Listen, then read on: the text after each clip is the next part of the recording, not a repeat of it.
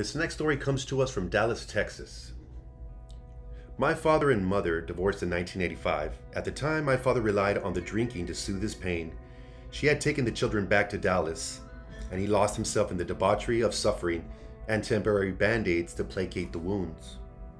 He used to be a mariachi and was always with his guitar.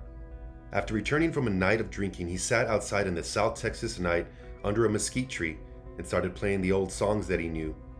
The songs of heartache now were deeper and filled with the angst of truth. He lifted his beer and took a swallow. Then he noticed movement, and then it was gone. He picked up the guitar and began to play again. A man peered from the beyond the house, directly to the right of the garage under the old sodium vapor light. It was a young man, staring quizzically at my father. His clothes were old and tattered. He wore huaraches. His face was dirty and his hair was unkempt. My father called out to him, and the man quickly disappeared. Walking towards where the figure was, my father noticed that no one was there.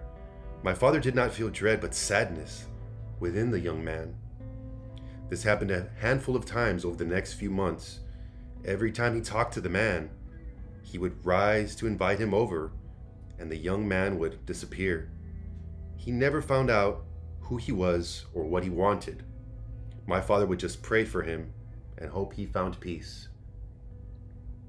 This was sent in by Blue.